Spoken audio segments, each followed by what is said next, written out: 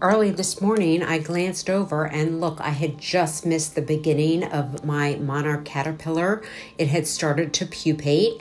So I missed the very first part where it basically splits its skin.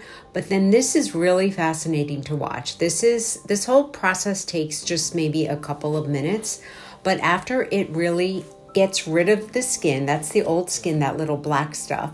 It really does the wiggle wiggle. Look how strong it is. It's attached itself, by the way, by the cremaster, and it had, had this one had attached itself right to the milkweed plant. So I just let it pupate right there on the milkweed plant as long as, as it was secure, and it was.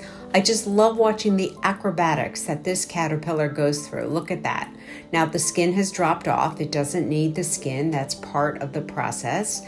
And then basically the metamorphosis begins from this moment. It will take 10 days and this unbelievable monarch chrysalis will be a beautiful monarch butterfly. And this is, of course, of the migrating generation. So this monarch butterfly will leave Pennsylvania and end up in Mexico. So here, this was a couple hours later, I went back to check on it and it was perfectly formed and it's just a beauty. Isn't that cool?